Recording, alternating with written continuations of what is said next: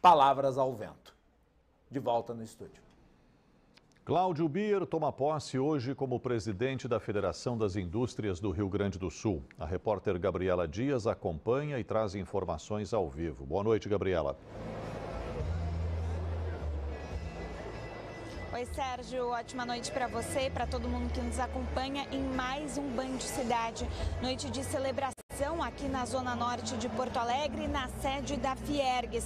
Cláudio Afonso Amoretti Bier, que ocupava uma das vice-presidências da Fiergues, assume nesta quinta-feira como presidente. Ele vai liderar na gestão que vai até o ano de 2027. Bier também já esteve à frente do Sindicato das Indústrias de Máquinas e Implementos Agrícolas do Estado e ainda é diretor-presidente do Grupo Masal, que adquiriu no ano de 1983, quando recuperou financeiramente a empresa.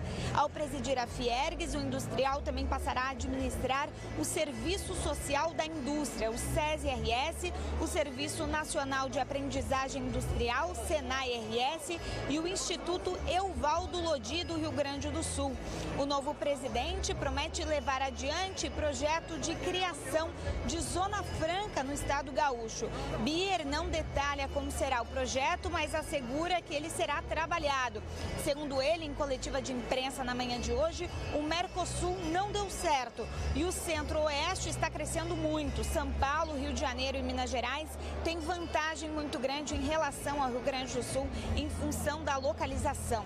Estão presentes hoje aqui no evento entidades de diversos ramos da economia estadual, assim como o governador Eduardo Leite, representantes do governo federal e da Conferência Nacional da Indústria. O evento deve começar em instantes, estava marcado para as 7 horas da noite. O pessoal já está chegando, se sentando e daqui a pouquinho começa a cerimônia aqui na Avenida Assis Brasil. Sérgio. Obrigado, Gabriela, pelas informações. Depois da semana com as temperaturas mais